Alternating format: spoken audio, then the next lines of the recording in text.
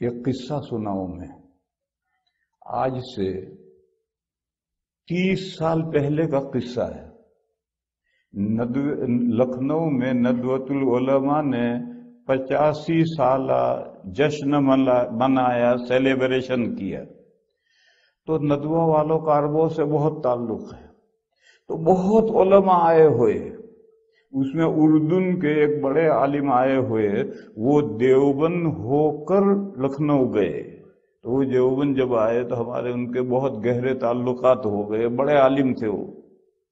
خیر وہ وہاں گئے۔ پیچھے سے دارالعلوم دیوبند سے بھی پندرہ اساتذہ مد دارالعلوم نے بھیجا اس میں شرکت کے لیے، اس میں میں بھی گیا۔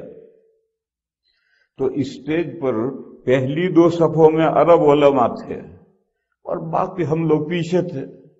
تو وہاں جلسے میں بری طرح سے فوٹوگرافی ہو رہی تھی۔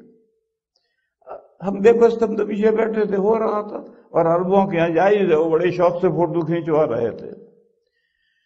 پھر وہ جو عالم دیوبند سے گئے تھے، میری ان سے ملاقات ہوئی تو میں نے ان سے پوچھا کہ آپ حدیث جانتے ہیں۔ بخاری کی حدیث میں اس کی ممانعت ہے اور آپ بڑے شوق سے فوٹو کھینچواتے ہیں۔ تو انہوں نے فوراً کہا کہ یہ کیمرے کا فوٹو حرام نہیں ہے۔ ہندو جو مورتیاں بناتے ہیں، یہ صورت حرام ہے۔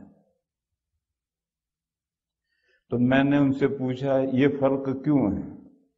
کہنے لگے، مورتیوں کی پوجا ہوتی ہے اور کیمرے کے فوٹو کی پوجا نہیں ہوتی۔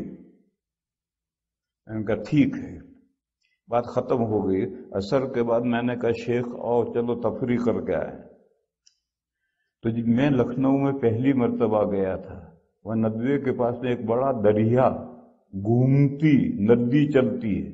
اس کے پول سے جب میرا رکشہ آگے گزرا تو دائیں ہاتھ پر ایک چٹائیاں باندھ کر کے ایک ٹیمپریری مندر بنا ہوا تھا۔ اب تو وہاں باقاعدہ مندر ہے۔ اس وقت وہ ٹیمپریری مندر بنا ہوا تھا۔ تو رکشا میں جاتے میری نظر پڑی تھی۔ تو میں نے شیخ سے کہا، شیخ آؤ، چلو۔ تفریح کر کے آئے۔ اور میں ان کو لے کر کے میں نے وہیں کھڑا کر دیا مندر کے سامنے۔ میں نے کہا شف شیخ ہاضا سورہ مجسمہ ام سورہ شمسیہ؟ شیخ، دیکھو، یہ مورتی ہے یا کیمرے کا فوٹو ہے؟ دیکھا، کہنے واللہ، سورہ شمشیہ خدا کی قسم، یہ تو کیمرے کا فوٹو ہے۔ تب میں نے انہیں سمجھایا کہ آپ اسلامی ملک میں رہتے ہیں، آپ کو کیا پتا کہ دنیا میں کیا کیا پوجا جاتا ہے؟ اب تو یہی کیمرے کے فوٹو یہ سارے ہندو پوچھتے ہیں۔ گھروں میں بھی یہی فوٹو ہیں، بسوں میں بھی یہی فوٹو ہیں، انہی پر دیے جلتے ہیں، انہی پر پھول ہار چڑھتے ہیں۔ میں نے اس کے بعد دیکھا کہ وہ پہلی دوسری سب میں نہیں بیٹھے، ہمارے ساتھ تیسری، چوتھی سب میں بیٹھتے تھے اور رومالیوں کھینچ کر بیٹھتے۔ پھر ڈیجیٹل